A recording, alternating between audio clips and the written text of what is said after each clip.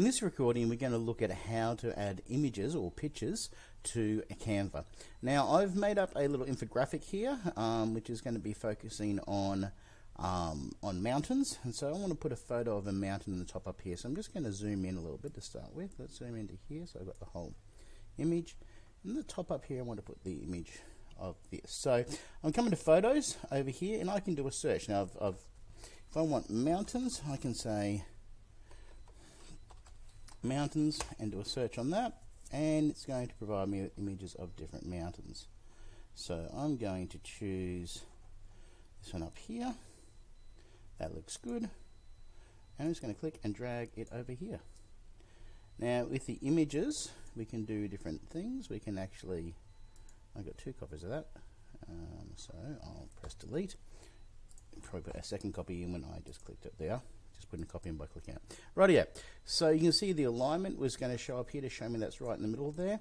I can make adjustments to it, so I can put different filter effects across it. I can make it a black and white if I want, or none, or I can make it super um, contrasty, etc. So that's the different effects. I, I don't mind that one. That's a whimsical or old schooly, very dramatic. That looks good.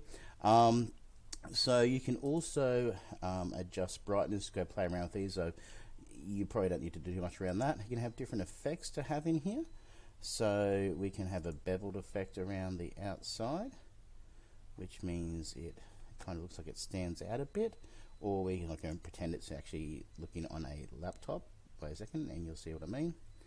Is it's going to be someone looking at the mountain there. There we are. So I don't want that. Um, so we just go back to, we can pixelate it, just like that, or we can just say none. So just go cancel on those effects. Um, we can make adjustments, we can crop it. So if you want to use the corners to only cut into a certain part, you can do that and then go done and just focuses on that little part there.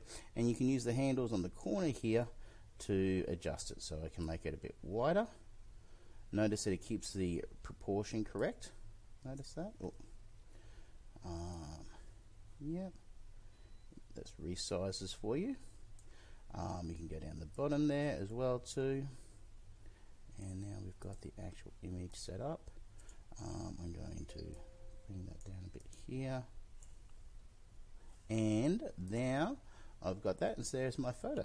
Um, I'm going to zoom back out so you can see it. So that's how we go about putting um, pictures and photos into um, just straight through here. There is a way if you want um, as well to a photo um, to upload. No, that's in our upload sections. We'll do it later on. Okay, so there you go. So this is how you go about putting um, photos into Canva.